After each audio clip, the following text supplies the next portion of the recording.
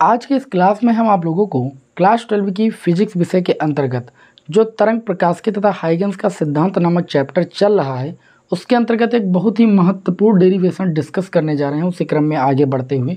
यहाँ पर हम ये सीखेंगे कि हाइगन्स की द्वितीय तरंगिकाओं के सिद्धांत द्वारा तरंगों के परावर्तन की व्याख्या।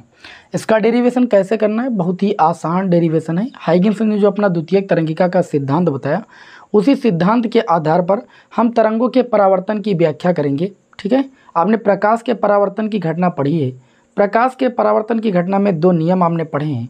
पहला नियम पढ़ा है आपने, आपतित किरण, परावर्तित किरण और अभिलंब तीनों एक तल में होते हैं।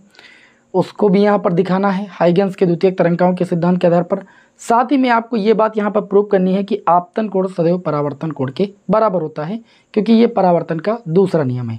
जब ये दोनों बातें आप हाइगन्स के द्वितीय तरंगाओं के सिद्धांत के आधार पर सिद्ध कर दोगे तो ये आपका डेरिवेशन हो जाएगा। इसके लिए हम करते क्या हैं? सबसे पहले आपको क्या करना है? एक परावर्तक पृष्ठ बनाना है। क्या बनाना है? एक परावर्तक पृष्ठ। फिगर को बहुत ध्यान से देखिएगा। सारा खेल फिगर में तो यहाँ पर एक हम परावर्तक पृष्ठ बनाते हैं भाई। परावर्तक पृष्ठ की एक खास बात होती है कि एक भाग पर क्या होती है भाई? पेंट की कलाई होती है। ठीक? एक हम जेड जेड डैश एक परावर्तक पृष्ठ बनाते हैं। कैसा पृष्ठ बनाते हैं? परावर्तक पृष्ठ बनाते हैं। तो आपको हिंदी लैंग्वेज में यहाँ पर नहीं लिख पाऊँगा। व्हाइट बोर्ड है, ज़्यादा जगह नहीं है डेरिवेशन हो पाएगा। तो हिंदी लैंग्वेज जो मैं आपको बोल रहा हूँ, उसको सुनते रहिए। और फिर भी अगर आपको कोई दिक्कत हो रही है तो नोट्स तो मैं आपको प्रोवाइड कर ही दूँगा। आप क्यों टेंशन ले रहे हो? नोट्स तो मैं आपको पूरा प्रोवाइड कर ही दूँगा। ठीक है? तो यहाँ पर हम करेंगे क्या? सबसे पहले मानेंगे, माना। एक हमारे पास जेड जेड डैश क्या है भाई? परावर्तक पृष्ठ है।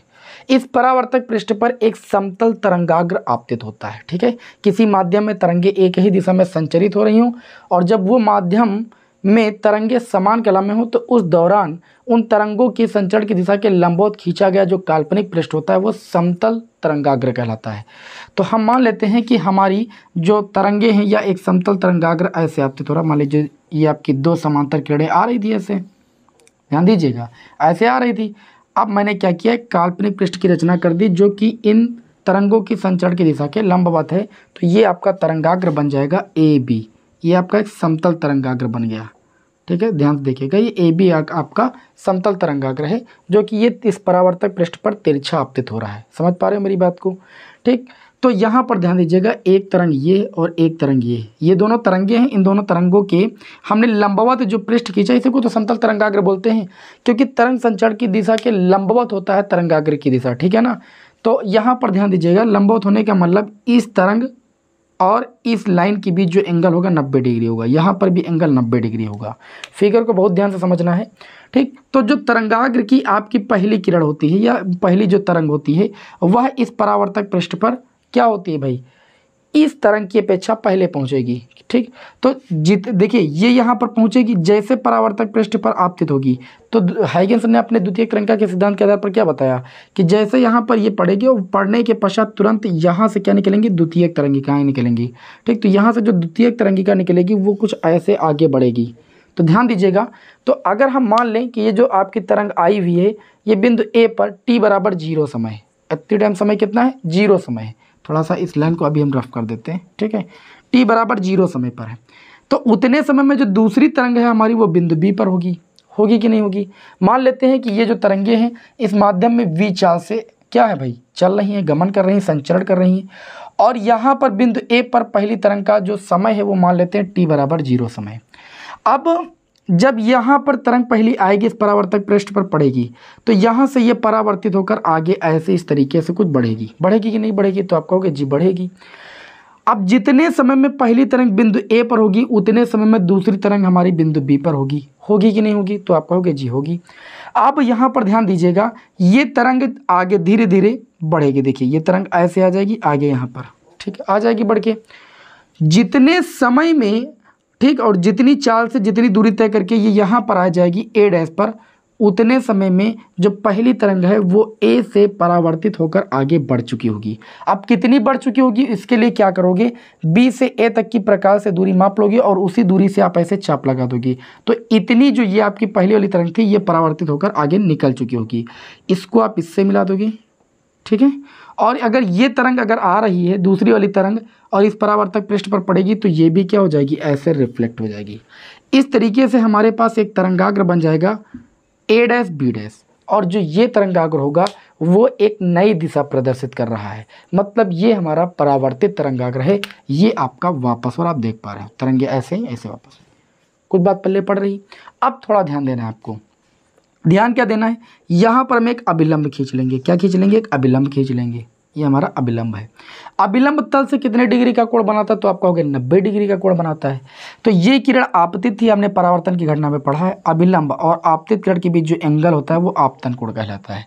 तो ये आपतित किरण है और ये अभिलंब इसके बीच जो एंगल बनेगा, ये आपका आपतन कोण बनेगा। आई, आप लोग देखिए, वीडियो को थोड़ा सा मोड़ लीजिएगा, बड़ी स्क्रीन पर देखिएगा और क्वालिटी को थोड़ा बढ़ा लीजिएगा, क्योंकि यहाँ पर कोणों के बारे में जानकारी आपको समझ में आनी चाहिए। तो ये आपतन कोण होगा और आपको पता है कि ये वाला कोण, आप ध्यान दीजिएगा, ये कुछ ऐसे है और यहाँ पर आपतन कोण आई है, पूरा एंगल नब्बे। अगर ये कोण आई है और पूरा एंगल नब्बे है तो ये वाला कोण कितना होगा? तो आप कहोगे नब्बे माइनस आई। मतलब ये वाला जो कोण होगा, वो आपका नब्बे माइनस आई होगा, तभी दोनों का योग नब्बे होगा। अब ध्यान दीजिएगा। ये जो तरंगाग्र ए बी ये तरंगाग्र है, ठीक है? तरंगाग्र जो होता है, तरंग संचरण की दिशा के लंबवत होता है मतलब ये वाला जो पूरा कोण होगा, ये वाला, ध्यान दीजिएगा, ये वाला पूरा कोण, ये नब्बे होगा। और ये कोण आई है। अगर देखा जाए तो ये कोण अगर आई है और ये पूरा कोण नब्बे है तो ये वाला कितना होगा? तो आप कहोगे नब्बे माइनस आई होगा। कितना होगा? नब्बे माइनस आई होगा। क्यों? क्योंकि दोनों कोणों का योग तो नब्बे है ना। तो एक अगर आई तो दूसरा नब्बे माइनस आई होगा। तभी दोनों का योग करेंगे तो नब्बे आएगा। तो ये जो, ये वाला एंगल आएगा, ये आपका नब्बे माइनस आई होगा। बात कुछ समझ में आई कि नहीं समझ में आई? कुछ समझ में आ गई होगी। अब आगे देखिएगा। यहाँ पर देखिए तो एक एंगल ये वाला बच रहा है, ये वाला। ठीक है? इस एंगल पर थोड़ा गौर फरमाइएगा। ये वाला एंगल कितना होगा?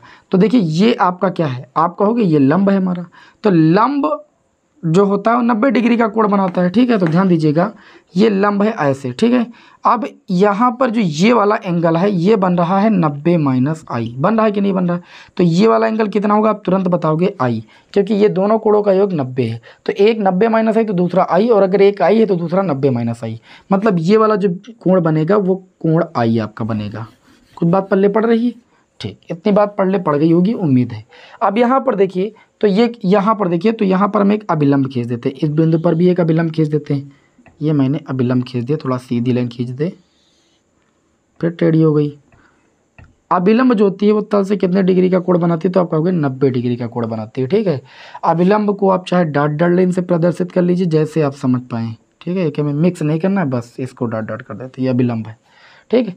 और ये जो है, ये तरंगाग्र की दिशा, तरंगाग्र तरंग संचरण की दिशा के लंबोत होता है। मतलब ये नब्बे डिग्री का कोण बनाएगा। अब ध्यान दीजिएगा, यहाँ पर आपको क्या देखना है? यहाँ पर सीखना ये है कि ये अभिलंब है और ये परावर्तित किरण है।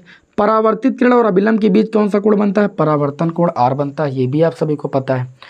अगर ये परावर्तन कोण आर है और ये हमारा अभिलंब है तो ये वाला कोण कितना हो जाएगा? नब्बे माइनस आर। ये भी आप लोग जानते हो। क्यों? क्योंकि ये अभिलंब मतलब ये नब्बे डिग्री का टोटल कोण बनाएगा जिसमें से दोनों कोणों एक में इनसे एक कोण आर है तो दूसरा नब्बे माइनस आर होगा। क्योंकि दोनों कोणों का योग कितना होगा? नब्बे होगा क्योंकि ये अभिलंब है। अब थोड़ा और ध्यान दीजिएगा। ये तरंगाग्र है। तरंगाग्र भी तर, तरंग तरंग संचरण की दिशा के क्या होता है? लंबवत होता है। मतलब ये वाला जो पूरा एंगल होगा वो नब्बे होगा। और ये वाला आर है तो ये छोटा वाला भी आपका नब्बे माइनस आर हो जाएगा।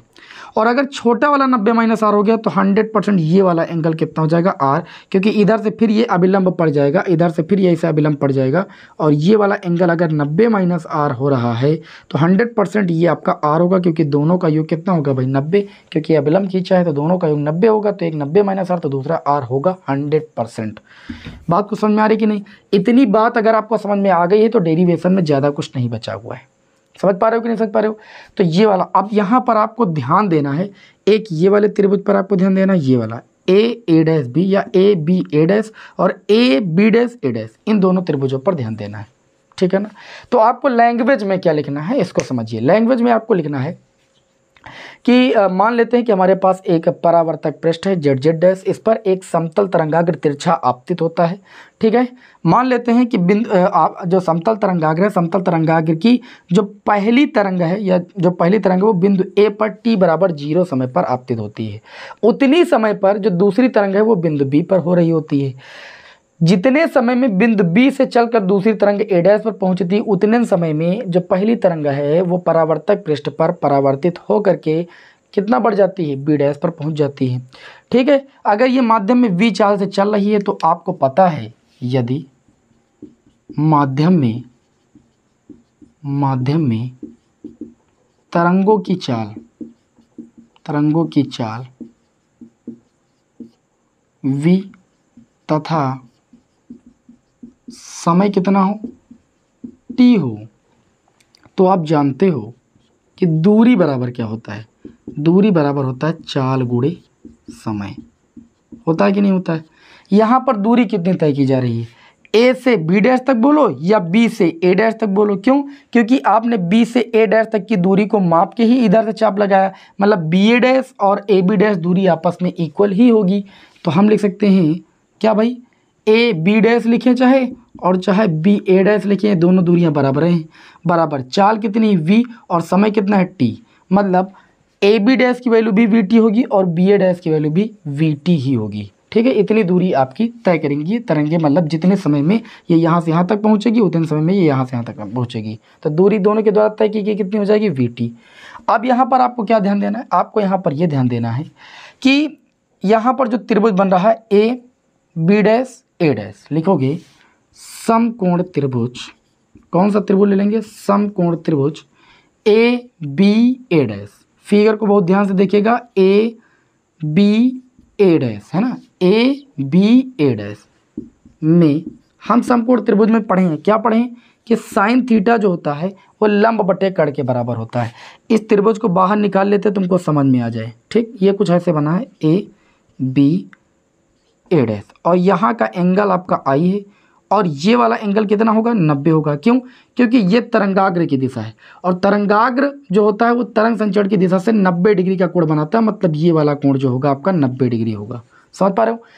समकोण त्रिभुज में 90 डिग्री के सामने की भुजा कड़ होती है, और कोण के सामने भुजा सदैव लंब होती है। समकोण त्रिभुज में आप लोगों ने पढ़ा है कि सम 90 डिग्री के सामने भुजा सदैव कड़ होती है और कोण के सामने भुजा लंब होती है। तो कोण आई है, इसके सामने भुजा लंब हो जाएगी बी ए डैश ठीक तो कोण कितना है? आई लंब हो जाएगा बी ए डैश और कड़ की बात करें तो 90 डिग्री के सामने भुजा कड़ हो जाएगी ए ए डैश आप निकाल चुके हो बी ए डैश दूरी का मान कितना है? वी टी और बटे में कितना हो जाएगा? ए ए डैश इसको आप मान लोगे समीकरण एक। समझ पा रहे हो मेरी बात को? इसी प्रकार इसी प्रकार दूसरा हमारे पास समकोण त्रिभुज मिल रहा है। समकोण त्रिभुज, कौन सा मिल रहा है? आप कहोगे A B dash A dash समकोण त्रिभुज A B dash A dash में. ठीक? अब इसकी आकृति थोड़ा अलग बना के आपको दिखाते हैं। ये कुछ ऐसा बना हुआ है। आप देख पा रहे हो? यहाँ पर बी डैश है, ये आपका ए है और ये ए डैश है। आप फिगर को ध्यान से देखिए। ये जो एंगल बन रहा है, वो आर बन रहा है। ये एंगल जो बन रहा है, नब्बे। क्यों? क्यों? क्योंकि ये तरंगाग्र तरंग संचार की दिशा के लंबवत होता है। तो ये तरंग संचार की दिशा है और ये तरंगाग्र की दिशा है। तो इसके बीच का जो एंगल होगा, ये वाला नब्बे होगा। नब्बे डिग्री के सामने बुझा जो कड़ होगी, वो ए ए डैश होगी। ये कोण है, कोण के सामने बुझा लंब होगी। तो यहाँ पर ले लेंगे साइन आर बराबर लंब। लंब इसके सामने बुझा कितनी हो जाएगी? ए बी डैश और कड़ की बात करें तो कड़ हमारा ए ए डैश समझ पा रहे हो? ए बी डैश की वैल्यू मैंने बताया कितनी होगी? वी टी और बटे में ए ए डैश इसको मान लेंगे समीकरण दो। बात को समझ में आ रही? अब लिखोगे समीकरण एक व दो से। क्या लिखोगे? समीकरण एक व दो से। समीकरण एक व दो से आप देखिए। साइन आई का मान मान भी वी टी बटे ए डैश आया। साइन आर का मान भी आपका वी टी बटे ए डैश आया। तो आप साइन आई का मान भी उतना है जितना साइन आर का मान। तो हम ये कह सकते हैं समीकरण एक से कि साइन आई जो होगा वो किसके बराबर होगा? तो आप कहोगे साइन आर के बराबर। तुलना करेंगे साइन साइन हट जाएगा तो आई बराबर कितना हो जाएगा? आर। आई बराबर आर कहने का मतलब सीधा ये है कि जो आपतन कोण है, जो आपतन कोण है, वो किसके बराबर हो रहा है? तो आप कहोगे परावर्तन कोण के बराबर। क्योंकि आर क्या है भाई? परावर्तन कोण है। आई क्या है? आपतन कोण है। ठीक है ना? तो यही क्या है? ये आपतन कोण बराबर परावर्तन कोण, यही क्या है? ये परावर्तन का दूसरा नियम। यही परावर्तन का दूसरा नियम। परावर्तन का दूसरा नियम। और आपको तो परावर्तन के दोनों नियम प्रूव करने हैं तो दूसरा नियम हो गया। दूसरा नियम। है। प्रथम नियम कैसे लगा, जो आपने तरंगाग्र आपतित किया, ठीक है? और यहाँ पर जो अविलंब आपने खींचा है, और जो परावर्तित तरंगाग्र है, आप देख पा रहे हो। आपतित, परावर्तित किरणें और अभिलंब ये जो खींचा गया है, ये तीनों एक कागज़ तल के कागज़ तल में है। और ये क्या होता है? परावर्तन का पहला नियम, कि आपतित किरण, परावर्तित किरण और अभिलंब तीनों एक तल में हो तो तीनों एक ही तल में आप देख पा रहे हो। ठीक है, ये तो है, ये फिगर में दिख ही रहा है। और दूसरी बात रह गई थी कि आपतन कोण सदैव परावर्तन कोण के बराबर होता है तो वो चीज़ मैंने यहाँ पर प्रूफ कर दिया। तो इस तरीके से हाइगन्स की द्वितीय तरंगाओं के सिद्धांत के आधार पर हम प्रकाश के परावर्तन की व्याख्या कर सकते हैं। बताइए, किसी को कोई समस्या इस डेरिवेशन में? कोई दिक्कत नहीं, बहुत ही आसान डेरिवेशन है। क्यों? तो उम्मीद है कि आप सभी लोगों को अच्छी तरीके से डेरिवेशन समझ में आ गया होगा। नेक्स्ट क्लास में आपको हम मिलेंगे। अपवर्तन की व्याख्या बताएँगे हाइगेंस के द्वितीय तरंगाओं के सिद्धांत के आधार पर। यदि आप हमारे चैनल पर नए हैं तो भैया चैनल को सब्सक्राइब कीजिएगा। आपको ऐसी क्लासें हम लगातार प्रोवाइड करते रहते हैं, जिससे आपके एग्ज़ाम की अच्छी तैयारी हो सके। मिलते हैं आपको नेक्स्ट वीडियो में। जय हिंद फंदे मातरम।